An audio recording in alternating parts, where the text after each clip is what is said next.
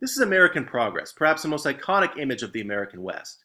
Now, teachers often use this in class and have students point out the various elements.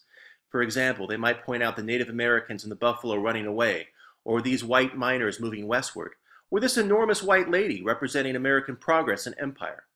But you could also ask students to point out what's missing in this painting. And what's most glaringly absent in this painting is the rest of American diversity. For example, since this painting was made in 1872, freed African American former slaves should also be moving westward, because this painting was a product of the Reconstruction era.